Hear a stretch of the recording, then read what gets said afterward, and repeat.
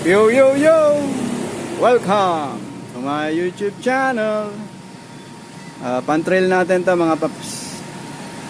Uh, pang-trail natin. At uh, shout out sa ating mga friends na magaling mag-trail. Ayan po. Uh, uh, pocket bike siya. Ayan po. So, linisin natin yung carb. Nag-overflow raw. Tapos napa-junk. Shout out kay Boss Oli. Kay Sir Oli. Ito yung kanyang pocket bike. Nasa abroad na kasi Boss Oli. Dirt bike. Grass cutter. Makina siya ng grass cutter. Two stroke. Naka disc. Disc brake.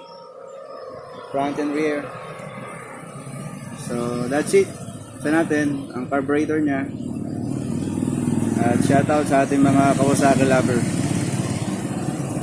Sa ating sa boss, sa ating mga boss ako baw. Okay. Wait lang po. So ito, binaklasan natin guys. Ayan o, nakapansin nyo ha. Doon sa entrada.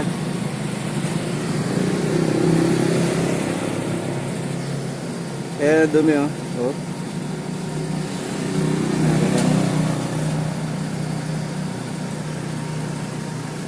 Goma. Pwede yung galing dito yan sa hose.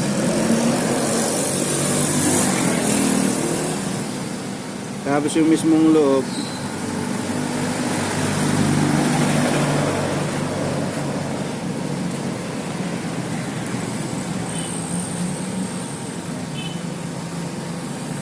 Ayun o. Oh. Ayun, may harang, goma.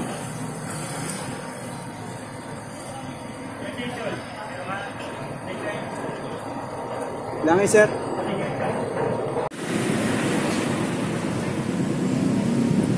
So ito mga paps. Uh, buksan nyo yung on off. Yung pinakang fuel cap. Kasi mayroong mga goma pa rin. Tulo pa rin yan. That's it. Kaya pagbabalik nyan. Ito.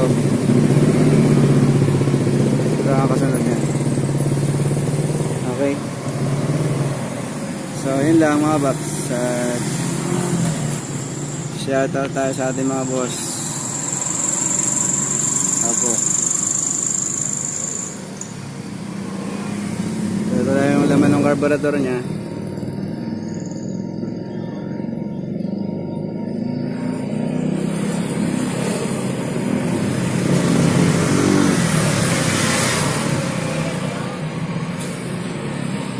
Thank you.